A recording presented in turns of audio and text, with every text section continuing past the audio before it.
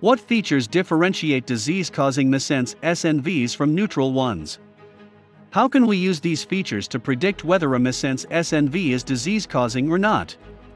Instead of working with nucleotide changes, almost all the prediction methods of missense variations work directly on the amino acid changes.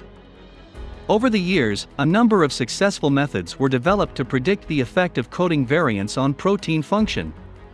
They were based either on sequence alone or sequence plus structure, and can be roughly divided into three categories conservation based, rule based, and machine learning classifier based.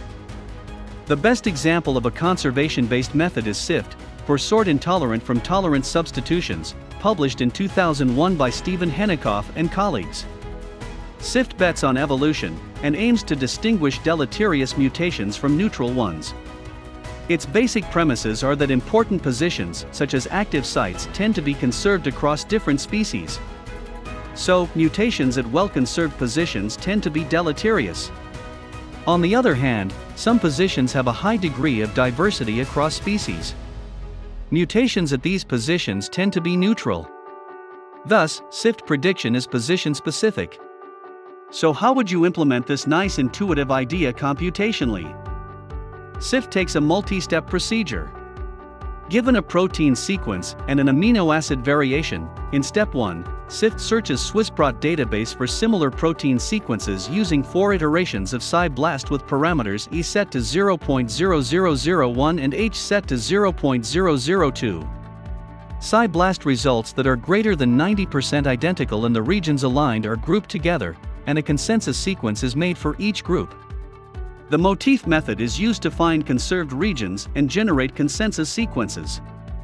Iteratively, more similar sequences are added until conservation in the conserved regions decreases. Conservation at position C, RC, is defined using information theory using the equation here. PCA is the frequency at which amino acid A appears in position C. The product of PCA and log PCA is summed over all 20 amino acids at position C.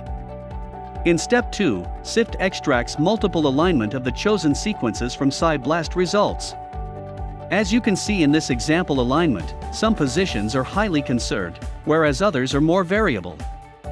In step 3, SIFT converts the multiple sequence alignment into a position-specific scoring matrix and calculates normalized probability of seeing a particular amino acid in nature. For example, here we have the aligned amino acids at position C. Let's first define a few terms. NC is defined as the total number of sequences aligned at position C. GCA is the sequence-weighted frequency that amino acid A appears at position C. If there is a gap in the alignment and if GC- is the frequency of gaps observed at position C, then for all 20 amino acids, GCA is increased by GC- divided by 20. Because the sequences included in the multiple sequence alignment is only a sample of all evolutionarily homologous sequences, we need to consider the possibility that some amino acids that exist in nature at position C in this protein, but are not observed by us. To deal with this, we introduce pseudocount FCA for unobserved amino acid A that might occur at position C using a 13-component Dirichlet mixture.